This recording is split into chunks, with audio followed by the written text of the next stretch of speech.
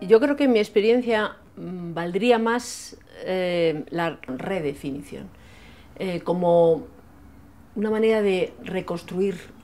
y reconstruir espacios literarios y reconstruirse a sí mismo.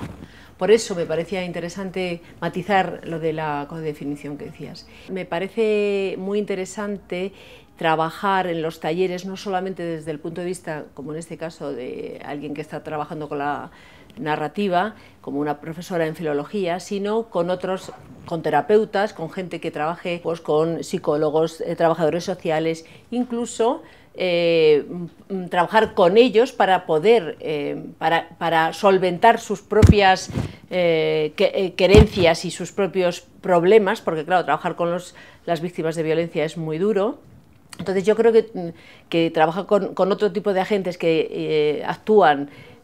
con las víctimas de violencia es básico para, para, este tipo de talleres. Mi experiencia me dice que nosotros, que yo sola no puedo trabajar, desde luego la gente que viene a los talleres son, básicas porque tienen que estar predispuestas, pero todo ello encajaría mucho mejor si eh, hay otros agentes que están aportando sus ideas para ayudar en este tipo de talleres. Quisiera matizar algo y es que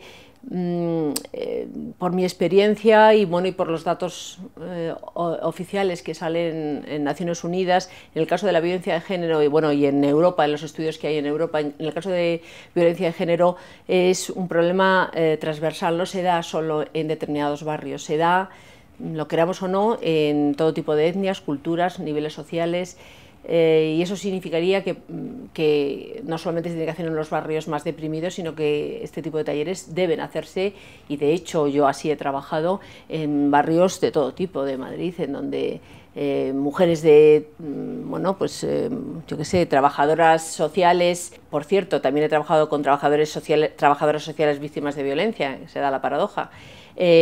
prostitutas, que también he trabajado con transexuales, eh, mujeres de clase súper alta que trabajan de fiscales, bueno, con todo tipo de mujeres. Con lo cual, el barrio es muy importante, se tiene que hacer en los barrios, pues a través de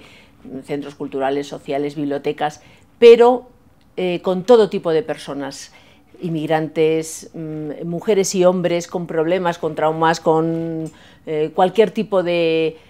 problemática, todos tendrían que estar juntos.